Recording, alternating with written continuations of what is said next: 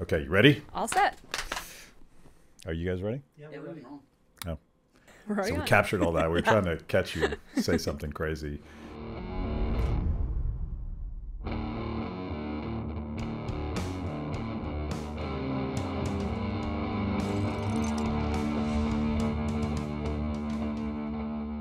Hannah, hi. I'm Matt. Um, you know, everybody craps on Twitter because it's this hate fest where everybody trolls each other. But I use it to curate news and to find new people, and that's how I found you. We've never met before, but it's right. good to meet. Good to meet you too. I've admired your work for some time, so very excited to be here. And uh, you run an organization called Conservatives Concerned About the Death Penalty, but you seem to write about just about everything now. Um, do you ever sleep? Because you're, you're cranking out stuff all the time. I'm one of those people that has insomnia, and so what do you do when you're up and nobody else is? You you know either go on Twitter and probably get yourself fired the next day, or you go write articles. So that Yeah. seems to be a better outlet for me. Yeah, I, I don't know what I would have done if, if I was 20 years old on Twitter. I never would have gotten hired by a Republican, that's for sure. And that, that might have changed my career. Maybe for the better. I have all of these Who knows? Republican skeletons in my closet. Yeah, it's an interesting thing to grow up with. I was sort of right at the cusp of it, and I'm a pastor's kid, so I'm sort of used to being under the microscope 24 7. And because of that, I was always pretty cautious on social media, and I had parents that were reminding me I needed to be cautious. So thank God I sort of avoided some of the big pitfalls. But if it had come about when I was even younger than that, if I hadn't had that added pressure, there's no telling what would be out there. It's just, it's a hard thing to have everything you've done publicly recorded. I was a crazy, strident libertarian who knew everything when I was 20 years old, and that would have been a disaster if, if there was any documentation of any of that. Right, as most libertarians are Yeah. at some point in their lives. So. Well, we, we're a disaster every day, let's be honest. But uh, and you call yourself a conservative libertarian or a libertarian conservative? yeah, I kind What's of. qualifying what there? I straddle that fence. You know, I think, in my opinion, I'm a libertarian, but, you know, who's the real libertarian is the ongoing joke. And I think when I get into uh, LP, a capital L circle, I realize I'm not maybe as libertarian as I think. And then when I'm in a conservative circle, I feel far more libertarian than I think. So I, I think I'm on the fence there. Um, my views are really based around policy more than party. And so I don't like to just put myself in one bucket. I care most about limiting the government, about making sure we have free markets and about individual liberty. And as long as people are working on those aspects, then I can work with anybody and, and kind of fit in anywhere. We talk about this a lot on this show, but that's actually what liberalism used to be. Right. And I hate that that like I, I use the word libertarian just because I don't know what else to use, but Yeah. that the whole label things can be off-putting. It's safer to say you're a libertarian because people don't know enough about us yet to automatically hate everything we stand for. But if you say Republican or Democrat and you're trying to talk to somebody who doesn't identify with that, you've you've stopped the conversation. I think that's right. And I think libertarian opens up a lot of doors. I know when I was first um, coming through college, I wasn't going to college to be in politics. I was in the music industry initially for my first career. And I had a friend that said, I think you're a libertarian. And I thought, that sounds like a liberal. I'm definitely not that. You know, I have no idea what that is, but no. Um, but I love the F.A. Hayek short essay, Why I'm Not a Conservative. I think that he really gets into the language barriers that we have around describing what our viewpoints are. But it comes down to the fact that we have really one party, one school of thought in this country, and it's progressivism. And conservative is at, at the end of the day, mostly just slow progressivism. It's moving the same direction. They don't have alternate ideas. They're just slowing down the process, and they'll be where progressives are in another 10 years. And so, you know, classical liberalism, libertarianism is an actual other school of thought that has real solutions to problems that I think we can agree upon with most liberals in American um, language. And so I, I like the term libertarianism, but at times it can be tainted as well, just due to certain characters who have been a bit more notorious or a bit more visible in the party. Uh, we have our characters. That that's one of my favorite essays. And by the way, part of this, the ethos of this show is that everybody watching now has to go get a cocktail because we mentioned Saint Saint Hayek. I like it. It's a good Um, theory.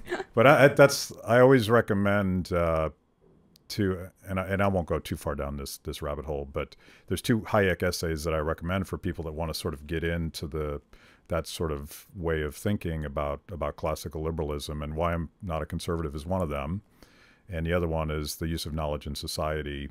And they're and they're very much related because the reason that Hayek is not a conservative in the European sense is that um, he's not a fascist and he's not someone that wants to use the power of the state to impose a set of values on people and, and maybe recapture the mythical glories of, of the past. And and I do watch the the, the current politics today. Um, I'm a little hands off. I don't I don't want to get too close, but um, I wonder where did that voice of liberty go to? I'm I'm old enough to remember when Republicans actually tried to balance the budget. Mm-hmm. It's not I've a thing. about it's those not times. a ancient times. They were wearing sandals and robes and Right. things like that. um, what happened to those guys? Yeah, you know, for me growing up Republican and kind of being on the outskirts of political work, I was taught that Republicans cared about these issues that I named free markets, limited government, individual liberty. And as I got a little bit older and was getting, you know, college, it was around the time of Romney, and starting to actually watch what they were doing, watch their hands, watch their votes, and being a bit aghast like, hold on a second, you guys don't actually push for any of this. You say it out in loud, out public, but that you don't actually go and work for it behind the scenes. And it was really, um, it was striking to me. And then as I began working in policy and actually getting into the political field, initially in Tennessee, traveling around speaking to Tea Party groups, speaking to Republican luncheons, and hearing a lot of what eventually became Trumpism. You know, a lot of nationalist rhetoric, a lot of things that were targeting certain population groups, which was nothing to do with the type of conservatism I had been brought up in. And it really kind of frightened me because I do see authoritarianism as the real danger no, no matter what kind of theory it is coming under the name of it's that's the real problem. And i think you know it goes back to being a preacher's kid. Um, i don't like being told what to do being micromanaged. I don't like seeing other people being told what to do or micromanage. And i think so often christians have really been the voice of authoritarianism in our country. And i saw that happening under the republican party especially with trump. And so it really um, was off-putting to me and something that i think more people should be concerned about. But it also said to me that most people who were republicans in our country didn't actually know what they believed or why. They were kind of just on a team. They were affiliated with that team. They really hated the other team for some reason. And it had nothing to do with these policy sort of wonky ideas that I had.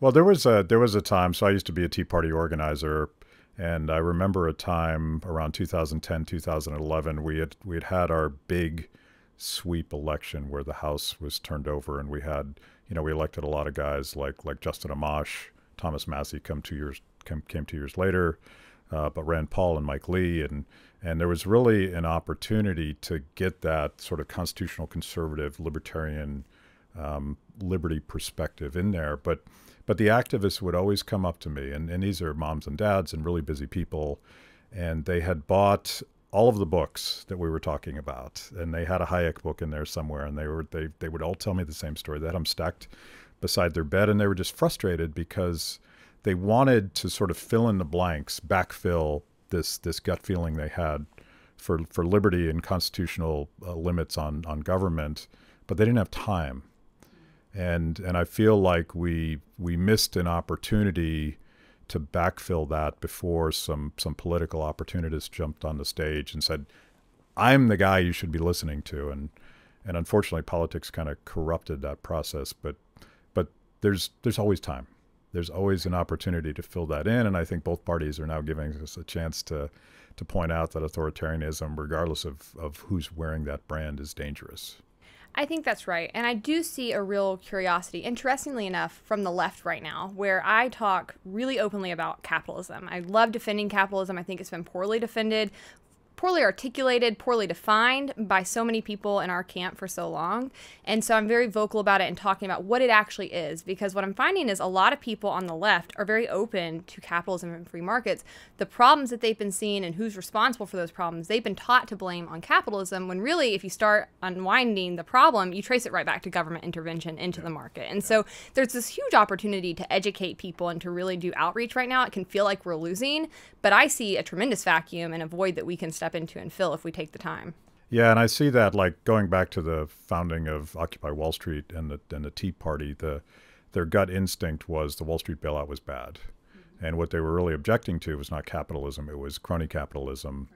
Right. And and I'm I'm sort of coming closer and closer to I guess you would call it a sort of a progressive skepticism of big things because I see this inevitable collusion between big corporations. You know, Jeff Bezos is always going to play with the chairman. It's just it's part of his business, and it may be difficult for him not to. But but I worry about about the bigness of corporations because they're always created by government special favors or government uh, colluding and keeping the small guys out of the system. So I don't know. There may be a there may be a sort of bottom up consensus amongst uh, honest progressives, um, not not authoritarian progressives. I don't know what to call the old uh, old guard. the old guard, the the uh, civil libertarians that that used to really kind of dominate the left, and now they seem to be gone. Yeah, I think they're there. And I, you know, I work in criminal justice reform, so I happen to work with a lot of them who are actually really bothered by where their party's going. They don't like their current nominees, Biden and Harris, who both have terrible criminal justice, you know, histories. And they really do care about civil liberties. They still care about wars. And so we have a lot of commonality, actually. And I think um, I love the book, How to Win Friends and Influence People, Dale Carnegie. I read it at least once a year. But, you know, one of the things he says is find a way to agree first and then start working together. And when I talk to people on the left that are in that camp, we can agree on a lot of the problems. And if you really start working through the root cause of those problems, it is government. So, you know, I wrote an article for the Washington Examiner a couple weeks ago about the billionaires thing because it's so trendy right now to hate billionaires and there's all these critiques of them, but the critiques miss the mark. There is a real problem with billionaires, and it's what you just said. They are rigging the system, they are getting corporate welfare. We're not in a true capitalist society or in a, in a fair playing field at all. But because people don't understand capitalism very well, they can't necessarily always say, okay, this is capitalism, this is a free market, this is intervention into it, this is a government created problem. And so if we can actually, you know, agree first and then start working through that, I think we could really get somewhere and maybe build a new type of coalition. Um, and then of course you have a lot of people who have been pushed out of the Republican Party due to Trump. And so there's there's a lot of people out there that I think are up for grabs and we just need to organize and really start building something with them, which is easier said than done. Obviously, you and I both know there's a lot of barriers to third parties and to different coalitions coming in and really um, taking effect. But I think that you can still, even without necessarily gaining political seats, do tremendous amount of work in simply educating people, changing the narrative, and really starting to influence hearts and minds, and that will then flow through elections. Yeah, and I, I think um, we, we do a lot of work on on mass incarceration and criminal justice reform as well, and it's it's very much um, a teachable story about what happens when you give government too much power. And you know, we, we have this this this shocking mass incarceration problem in our country. We're supposedly the land of the free and home of the brave, but but we lock everybody up and put them in cages for for non-violent crimes, which I struggle to even understand how that's a crime if you didn't hurt anybody else or take their stuff. But it's to me, it's uh, you know, I say this all the time. Bernie Sanders and Ron Paul had had a lot of things in common that were attractive to young people because they were raging against the machine and and most of Bernie's rage is against things that were caused by concentration of government power, like mass incarceration.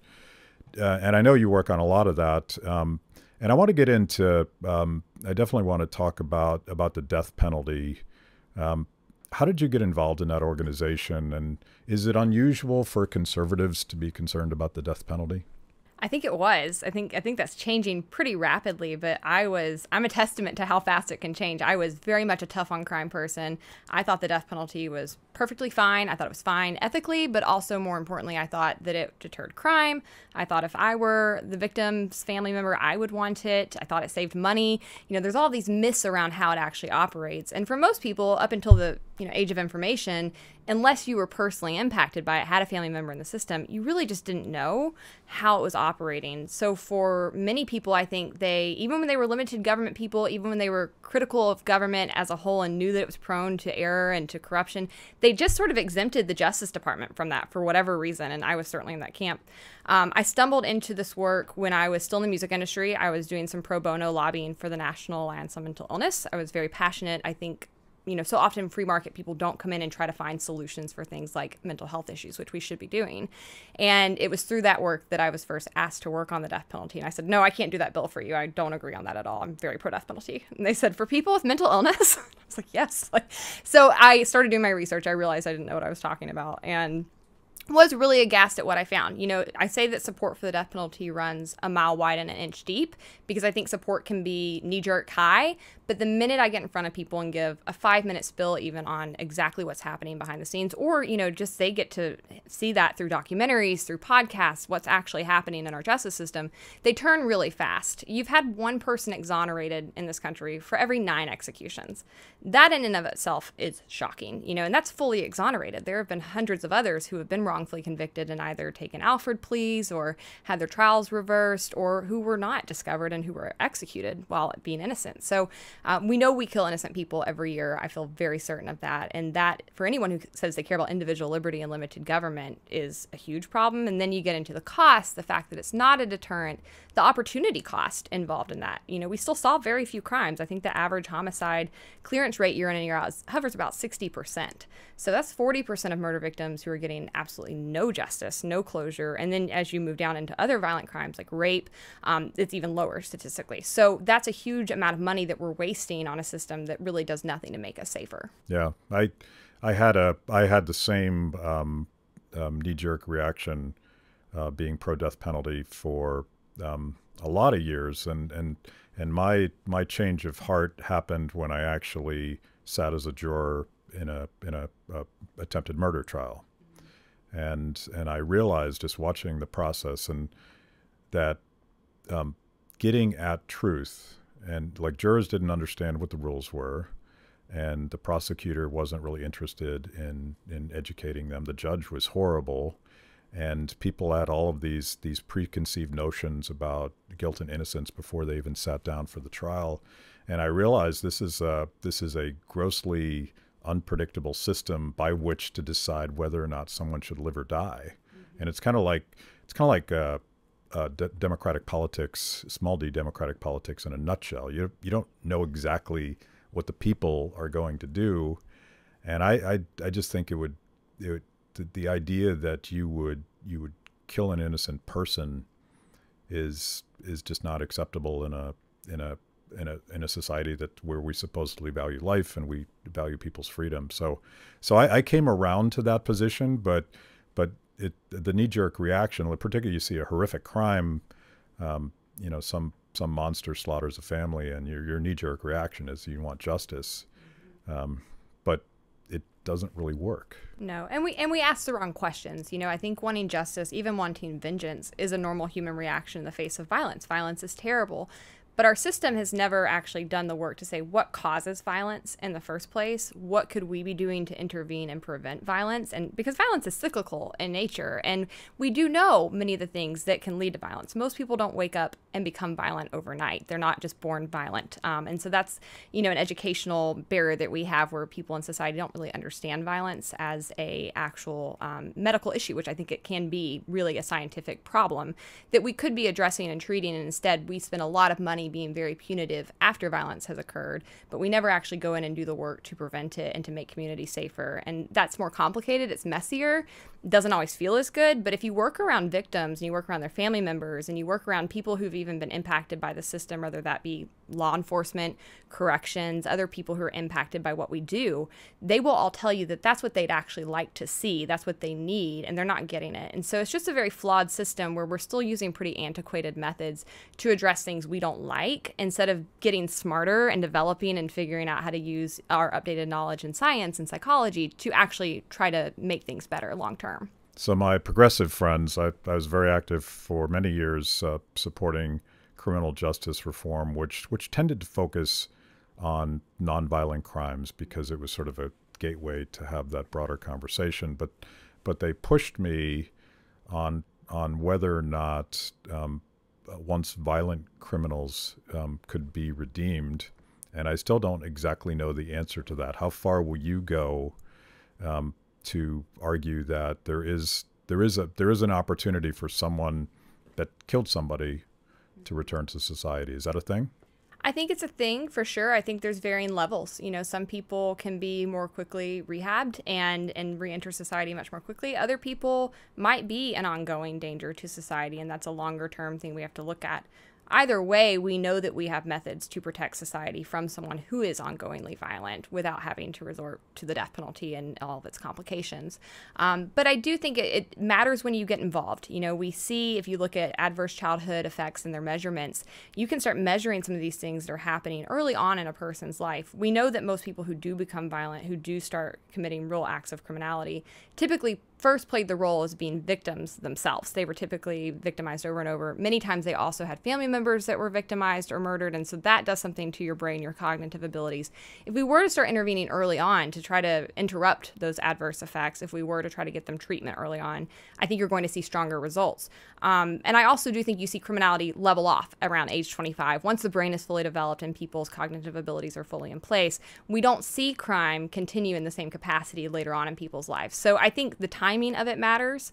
Um, I certainly don't think anybody's life is disposable. As someone who really is a pro life person holistically, um, I think that it goes against my very belief in ethics and also my religious beliefs to say that someone is too far gone and not able to be redeemed. Now, does that mean they might need to be in prison? Um, yeah, sometimes it does. But I still think that they can find purpose and find meaning behind bars. And I've seen that happen even on death rows across this country.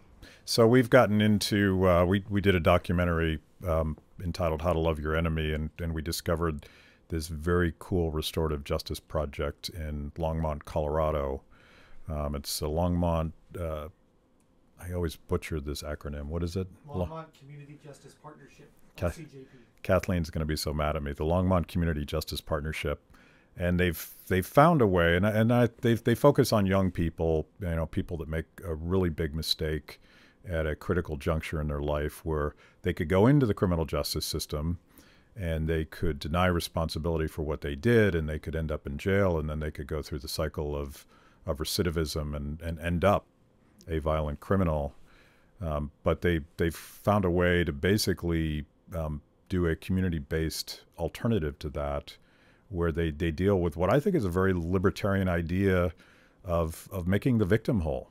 We always talk about making society whole. Well, society wasn't hurt; the victim was hurt, and I think that that's sort of a a a beautiful opportunity to to bring people together across the political spectrum that are looking for a way to deal with this that doesn't involve Washington D.C. because I'd I, there are so few people in Washington D.C. that actually want to fix this problem. They just want to message and demagogue. Um, Justin Amash points this out all the time.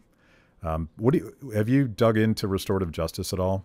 Yeah, and Conservatives Concern is actually a project of a larger organization called Equal Justice USA that is doing a lot of that type of practitioner level work in the communities. And so I've gotten to witness it and, and learn from a lot of the people working on our staff about it. Restorative justice as a concept is so exciting to me because I think you're exactly right. It is what the victims, what their family members are asking for. And it's not a big government solution. I think this is something conservatives and libertarians should really get on board with. It's local, it's community driven, it's public private partnerships. It's not a one size fits all approach. Um, it really is working with people to customize plans and figure out, you know, what do you need? If you're a victim of crime, do you need to go in and out of a courtroom for a decade to see if this person's going to get the death penalty or do you need therapy? Do you need help relocating if you're in a dangerous position? Do you need assistance with childcare if you've lost a spouse or if you've lost an, an, income provider? You know all of these things that people actually need to just get through the first hurdle of surviving crime. And then what do you need? Do you need to have restitution paid to you? Do you need to sit down with the offender and talk with them? You know you'll find that a lot of people actually want to have that sort of real healing connection of sitting down and figuring out why did you do this and you know trying to work through that getting an apology from them whatever it is that person needs it's very customizable and I think that's fascinating. We also see a lot of work being done with law enforcement in that regard and really trying to come in and work with them on trauma informed responses to violence and not just on how they're interacting with people and understanding people in the community's trauma and how that might um, change how they interact with policing, but also to understand their own trauma. You know, I think so often uh, we can get i know even i can get a little bit uh, angry at cops or angry at the profession and how it works but we we forget that oftentimes they are victims of crime too and what that does to them and their capacity to respond and how they interact with people. And so i love all of that work. I think it's something that's still really new to a lot of people on the right um, but there's other things like cure violence and and things that are even working with gang members where they're bringing in people who are rival gangs in oakland. And um, newark is a really good example and baton rouge that have had these really high crime areas and trying to find ways to actually get those people um, attached to services that are already being offered, job placement, educational services, things that we know will actually prevent ongoing criminality, and to try to lessen tensions in the, in that regard. So I think it's it's fascinating to observe. I just hope I get to keep learning and witnessing it. Yeah, the the, the police chief in Longmont, uh,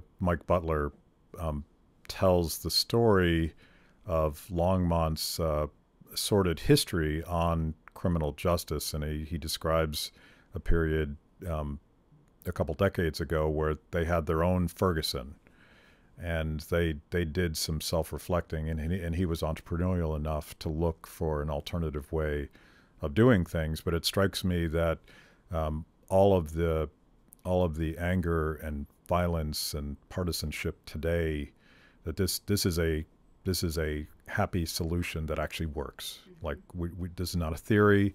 This is not a piece of legislation. They have they have 20 years of experience doing this, and a bunch of other communities have as well. And it, but it also sort of exposes the the total BS of Washington D.C. because everybody's painting Black Lives Matter on streets, but but nobody's actually fixing some pretty obvious flaws with our criminal justice system um, that that is an unplanned but perfect segue to a piece you just wrote about Kamala Harris. I I, I think it's um, funny and tragic as a libertarian that the Democrats have actually seated a ticket that is worse on criminal justice reform than Law and Order Donald Trump. How did how did that happen? Well, it's it's infuriating. I'm pretty mad about it, honestly. And uh, you're so right. It's it's become so performative. Um, criminal justice reform is popular. Every time we poll it, it polls well on both sides. It's something people genuinely want. You see people being voted out of office for not being um, as informed or active on this issue. This is something that really works with the general public. And so to see people in Washington D.C. at the federal level using that as a way to be performative and make people think that they're you know on their side, as you were pointing out earlier, a lot of people want to be informed. A lot of people do care about issues, but they simply don't have the time to dig in. And so for the Democrats to tell them, you know, this is something we care about, Black Lives Matter, we're leading on this, and then to put up Joe Biden and Kamala Harris, I don't think the average American knows those two people's background on criminal justice reform unless you're like me and you live and breathe this stuff every day. Well, in but... fairness, I, am not sure Joe Biden remembers his record on this, but he might not. He might have genuinely forgotten. Kamala knows what she did, though. Yeah, she and, knows um, what she did, and and the DNC knows what they did, and and so to me, it's um, it's highly disrespectful to so many people that are genuine in this, that are putting their money where they, you know, want to see action, that are really trying to affect change in our society for an important issue. I think it's embarrassing to me, our criminal justice system. It's a mockery of our foundational principles. It's something that I think in a hundred years people look back and say, "How did you let that happen?" You know, we look back at all these other horrors in history and think, "Who who are the people just sitting on the sidelines letting this occur?" But it's a lot of people in this country, and so they're complicit in that. And it reminds me of you know the stuff with Bill Clinton and the Me Too movement, where it's you recognize very quickly they don't actually care. They're just trying to use this as a talking point to to rally voters and then do nothing about it. And so that's something that I see on both sides. That's why I've really given up on the two main parties. I don't trust them at all. But Kamala's record, um, it actually isn't special, is what's significant about Kamala's record. You know, she's a former district attorney. That is the main opposition to criminal justice reform in this country. People always say, why don't you get more bills passed? There is one organized group in every state capital that is spending a lot of money to block almost any kind of criminal justice reform legislation that comes up. And it's just it's the district attorneys' conferences or unions or whatever they're called in each state. Um, so she was a, a part of that crew. And then she went on to become an attorney general. You know, she's gotten a lot of criticism for blocking DNA evidence for being tested for a death row inmate in California who was potentially innocent. That happens every day. People don't recognize just how difficult it is when you have a potentially wrongful conviction in the system to get it worked out, to get new evidence tested, to get a new trial, to in any way. Um, they think the appellate process is doing that when it's not. It's kind of just checking on procedural things.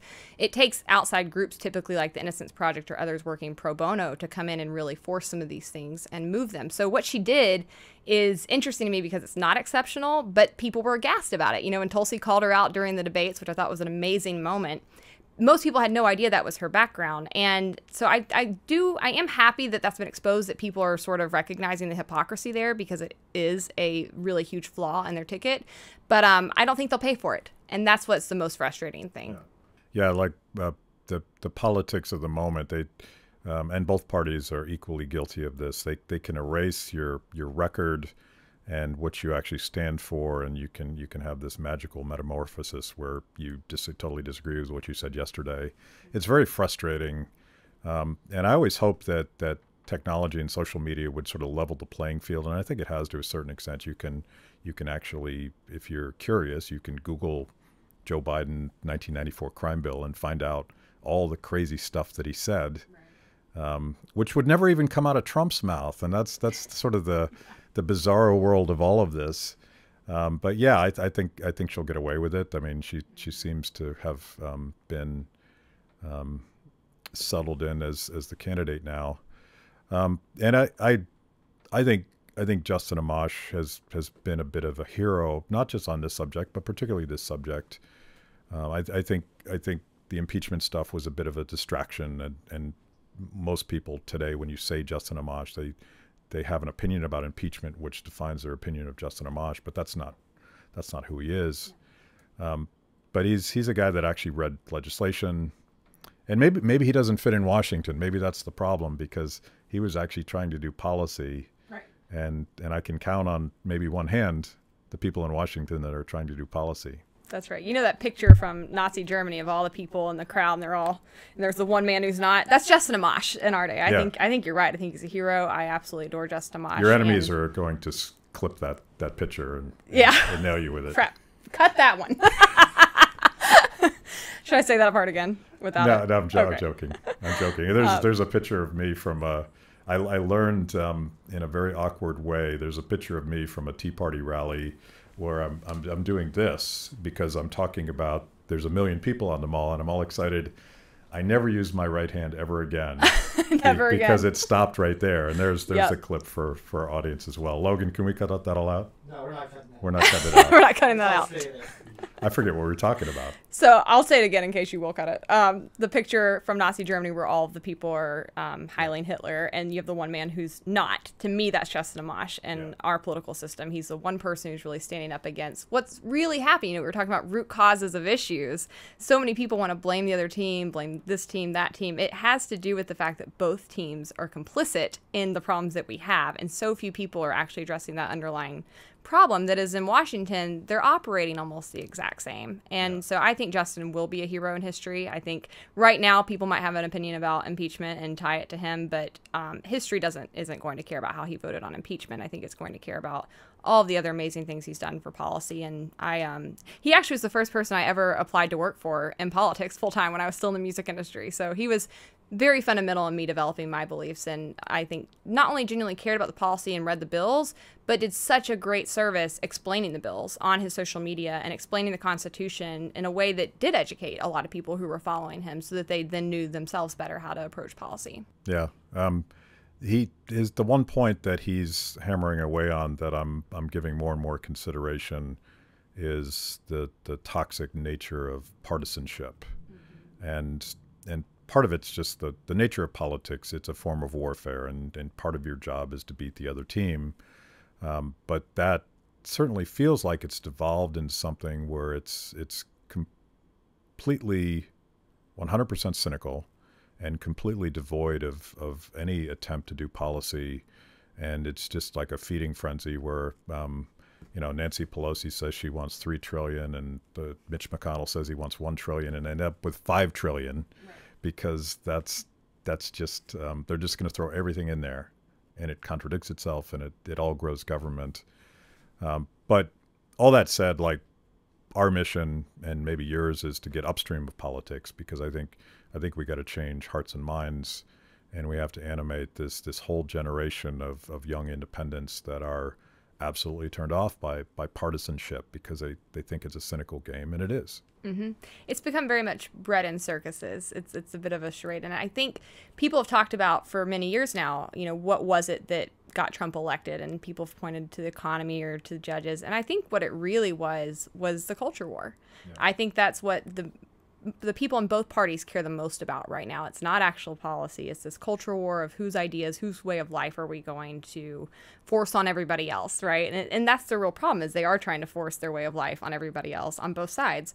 Um, the average American isn't going for that though. You know, we look at how the parties are moving and, and who's in their supporter block, and they are getting more and more fringe, and their their supporters are getting more and more rabid But the average American is not going in that direction. We're over here somewhere in the middle. A lot of people aren't voting. I don't think that that is just because 100 plus million people are lazy or uninvolved. I think it's that they've been disenfranchised. If we want to talk about voter disenfranchisement, let's talk about how the two parties have blocked independent candidates, have blocked third parties, have blocked anyone else who actually wants to come in and focus on the policy from getting anything done. You know, Justin was that kind of person and, and was ostracized for it, even by the Freedom Caucus that he helped build, because at the end of the day, people cared more about winning symbolic victories than they did about actually passing real legislation and so we we can get those people but we've got to start mobilizing them and really get them active and engaged if we want to fight back against that. Um, but i think the average american doesn't care about the culture war. They don't care about this two-party fight. They just want to live their lives pursue the american dream free of government barriers and just do the right thing. They want to you know provide for their families see their friends. They want to go to a football game on saturdays. They're not into this whole wonky mess that so many of us spend our days thinking about. You know you know fun has been determined to be unessential, um, non-essential. so there will be no football. There will be no concerts. Alabama, though. Are they, are, they doing? Alabama okay. said they're going to have people in the stadium. That's my home team. So. Okay. So so America. Roll Tide. Yeah. Um, so you you just uh, speaking of uh, uh, the banning of fun, you just moved from Tennessee to New York. That's right. I had been in. I moved to New York last November, so I had been there less than six months when COVID hit. Nice.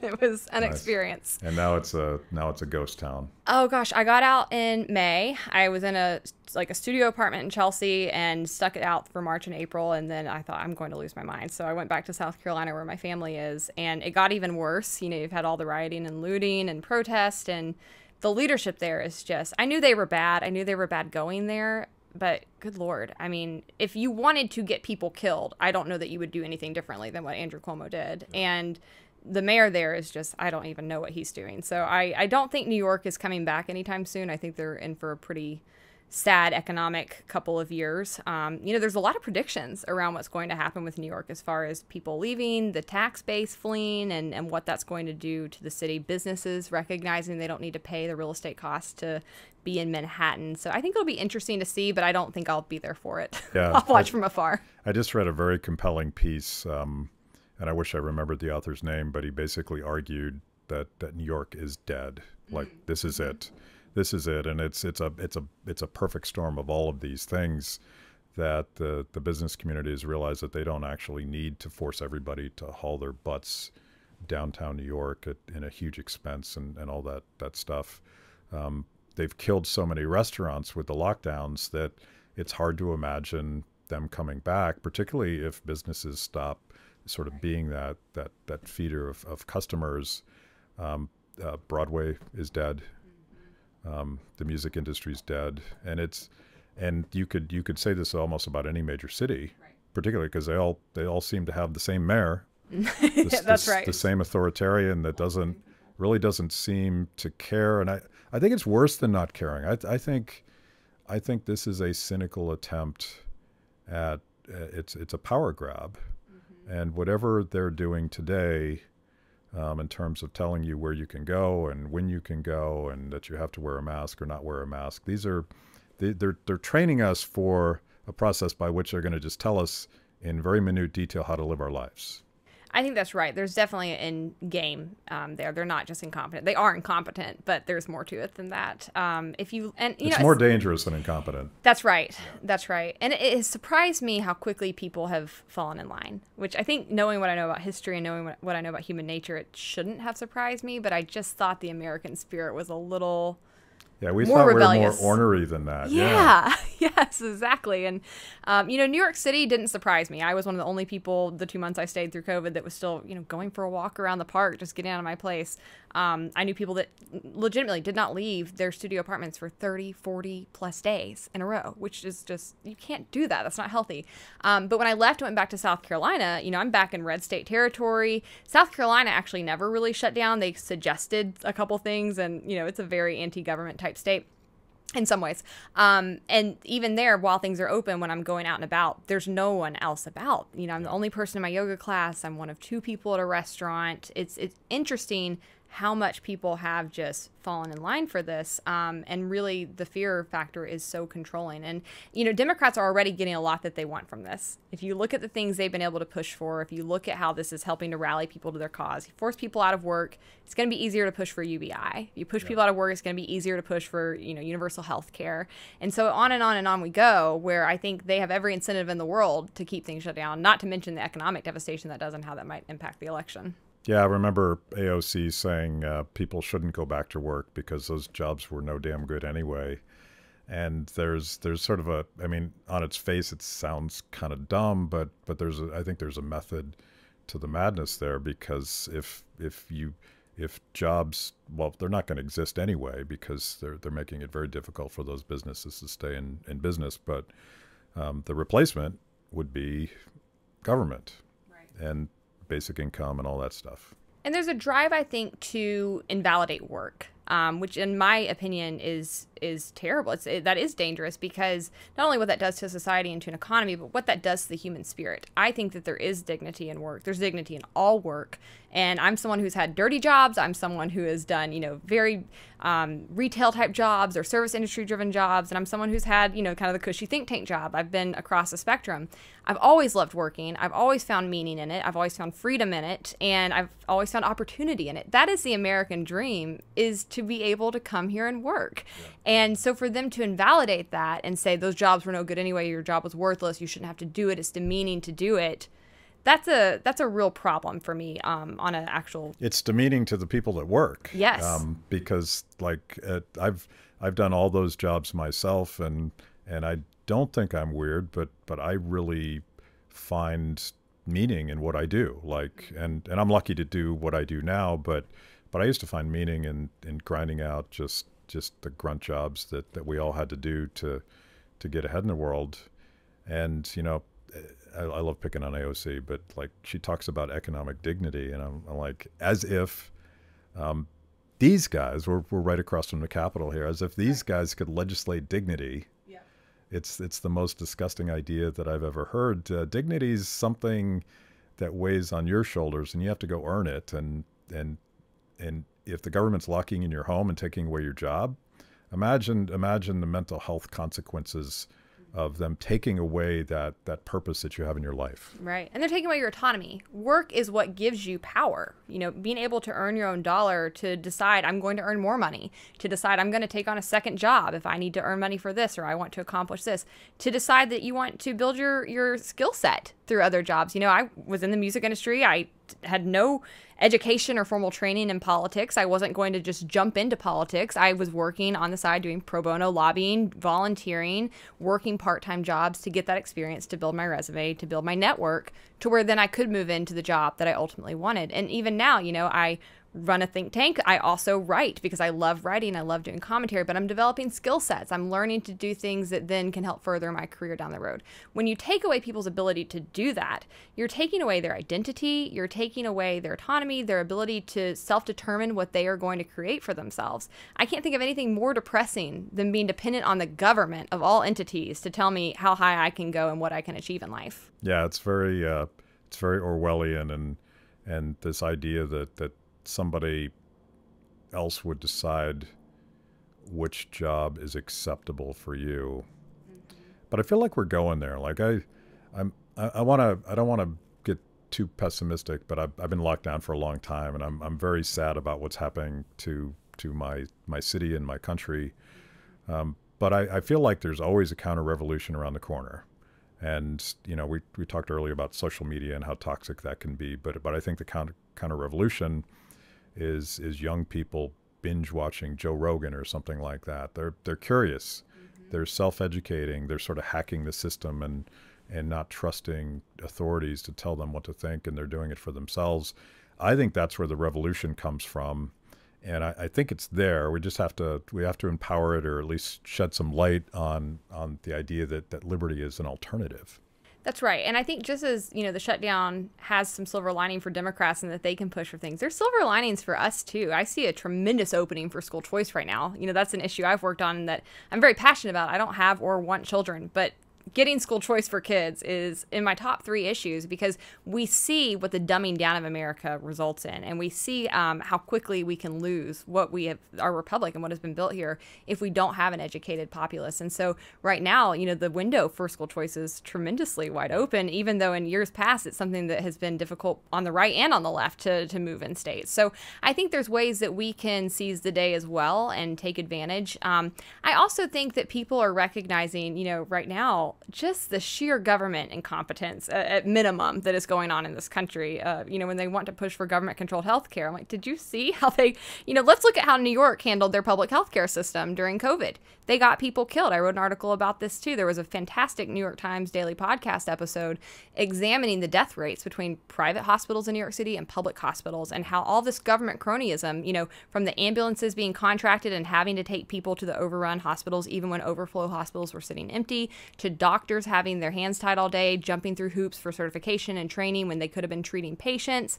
Um, all of it got people killed at a rate almost 10 times higher in the public healthcare system there than in the private healthcare system. Why do you want these people running your healthcare? You know, there's real e- educational opportunities to point to and to point to just how incapable government is of addressing any kind of controversy that we have, much less things that are as life and death as healthcare. Andrew Cuomo puts the uh, puts a sharp point on the fatal conceit. And now he's he, apparently he's come out with a book bragging about what a great job he did. Right. they they're really good at revisionist history on the left. That yeah. blows my mind how he is coming out a hero in all of this. He he literally killed seniors with his decisions and then prevented an investigation into the thing that he caused. Mm-hmm. And then he wrote a book and talking about how awesome he was. In the midst of it all. Yeah, it's just amazing how productive he is. I feel like politicians are no damn good. right. It's almost like I don't trust them. Huh. so we've we've discovered something new on this. Yeah, show. I guess so. I have to be more careful moving forward. Yeah. So so where do we find uh, more of your stuff? You're you're published in a bunch of different places. Yeah. So I'm at Newsmax Hannah Cox. You can Google me there, and my um, my column will come up. Same thing with the Washington Examiner, or you can follow me at Hannah Cox Seven on Facebook and on Twitter. And so I'm usually resharing most of my content there. If people want more death penalty information, it's conservativesconcerned.org. We've got lots of good information at that site, so would love to connect with people. Cool. It's great great to catch up. Yeah, likewise. Thanks for watching Kibbe on Liberty. By now, you know this is the most important event of your week. So make sure you subscribe on YouTube. Click the little bell so you get notifications. Kibbe on Liberty, mostly honest conversations with mostly interesting people.